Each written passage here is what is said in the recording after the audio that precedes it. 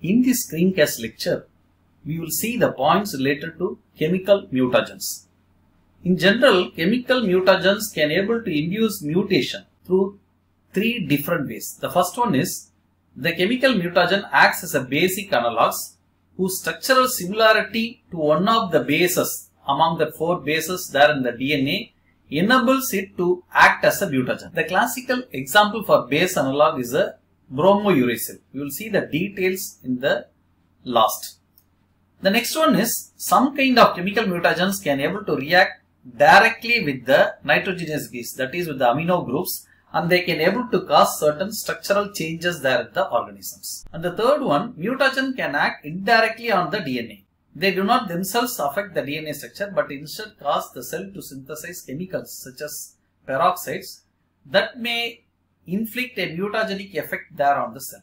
Among these three, the first two things are very important from the standpoint for our examination. Now we will see in detail about the different kinds of chemical mutagens that are all acting on the DNA molecule. The first one is a base analogs. These are the chemical that resembles the DNA nucleotide but pair incorrectly when they are actually incorporated there into the DNA. Thereby they can able to cause the mutagenesis in the organism.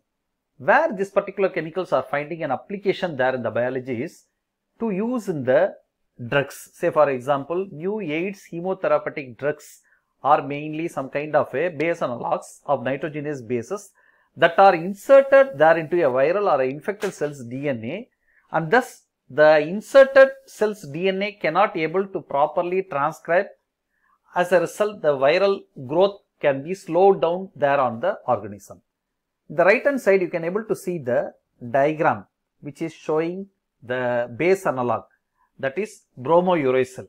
Bromouracil is a base analog to that of the thymine. You can able to see the structure of thymine and bromouracil are same with a single change there in the presence of a bromine group whereas the in bromouracil and methyl group there in the thymine. What happens exactly inside the system? Naturally, DNA polymerase cannot able to distinguish between a thymine and a 5-bromouracil as both are all in the same shape or in similar shape.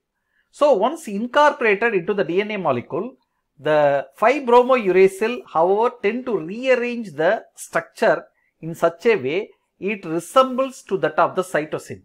As a result, that can able to pair with the guanine.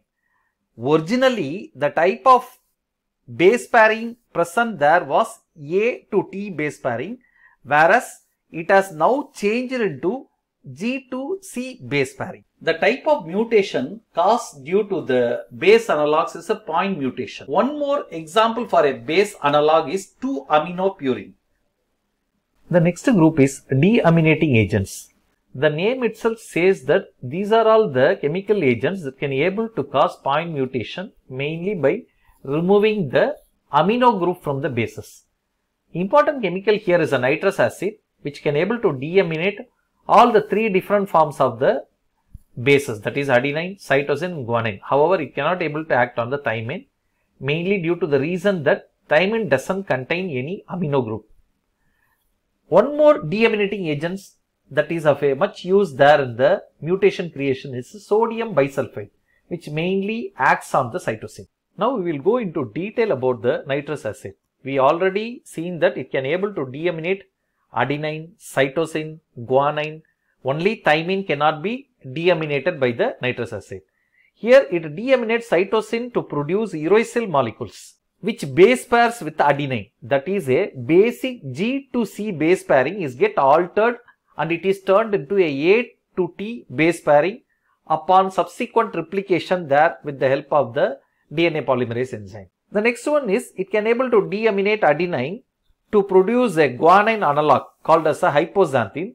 This also create a mutation in such a way a normal A to T base pairing is now converted into G to C base pairing. The next group is alkylating agents. These are all the chemicals that had hydrocarbon or alkyl groups there to the nucleotide bases. And this can able to cause a mispair between the bases there. Examples of certain alkylating agents include ethyl methane sulfonate called as a EMS, ethyl ethane sulfonate called as a EES and methyl methane sulfonate that is commonly called as a MMS. This group of compounds are potent mutagens commonly used in the laboratories as well as certain compounds that can be released there into the environment such as a mustard gas as well as the nitrogen mustards. This image explains the mechanism of action of the alkylating agents namely ethyl methane sulfonate especially on guanine as well as thymine. When it acts on guanine, the guanine is converted into a alkylating agent of a ethyl guanine. So, this ethyl guanine is the one which mimics as that of the adenine. So, a original G to C base pairing is now altered into a A to T base pairing. The next condition is with the thymine. When thymine has been subjected with the chemical agent that is ethyl methane sulfonate, it is again converted into a alkylating agent of a ethyl thymine. Again this ethyl thymine is the one which is having a analogous structure as that of the cytosine. So a normal AT base pairing is altered into a GC base pairing.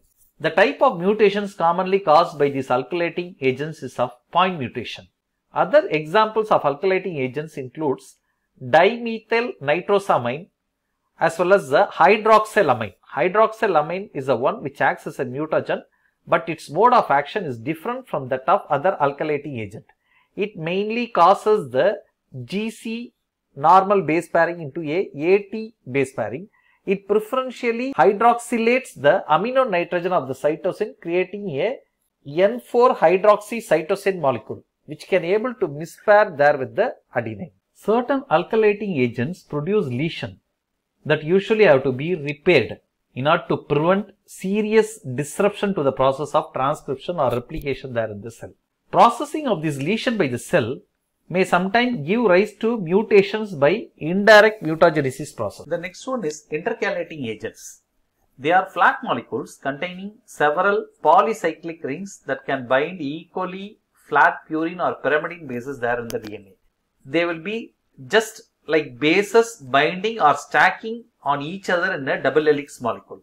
Intercalating agents includes proflavin, ethidium bromide. Ethidium bromide is the one which is commonly used there in a laboratory to visualize the DNA. They can able to cause the deletion or addition of the base pair.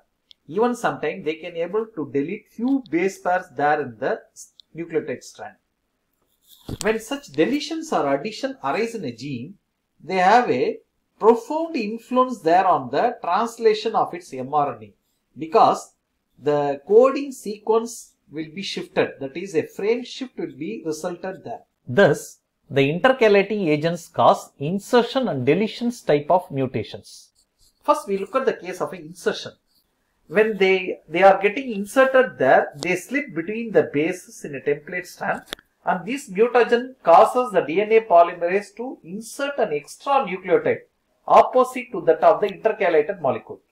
Thus, the intercalation of one of the structures approximately doubles the typical distance between the two base pair. Whereas, the condition is of a deletion, the distortion to the template caused by the intercalation of a molecule, maybe of a ethidium bromide, proflavin or acridine orange, they make the polymerase to skip a nucleotide. This will result in the production of a faulty proteins. Thus, intercalating agents are classified as a highly hazardous mutagenic group of molecules. As a final part of the lecture, we will try to understand something about the teratogens. Teratogens are refers to the agent that causes abnormal development of the embryo, which usually results in a gross structural defects. Teratogens may or may not able to cause mutation, but they can able to cause structural defects there on the person. The most famous example is the thalidomide. It resulted in the birth defects, mainly by formation of malformed children. That is, children have been formed with missing limbs. So you can able to see the photo of the children doesn't have a limbs there. You can look at the hands as well as legs that have been missing there. It is mainly caused due to the teratogenic effect. That is the effect that is caused on the embryo, the growing embryo that had resulted in the formation of the children with missing limbs. Thalidomide interferes with the development of embryos as opposed to causing mutations. Although the mechanism of the thalidomide action that is mainly on the malformation of the limbs where really remains uncertain that is the exact mechanism is not known. However, they say that thalidomide prevents the blood vessels from forming that is it is an anti-angiogenic in action which may partly explains the drug's ability to cause different kinds of birth defects there on the children. Basically, thalidomide is an immunomodulatory drug can also be used in treating certain cancers and complications associated there with the leprosy. Another classical example is the Zika virus which is regarded as a teratogen that is causing birth defects like microcephaly as well as serious brain anomalies. So here you can able to see the microcephaly condition. The normal head size and the size of the head has been reduced there in the persons who have been affected with the Zika virus. And the third is the one which shows a severe microcephaly condition resulted due to the Zika virus.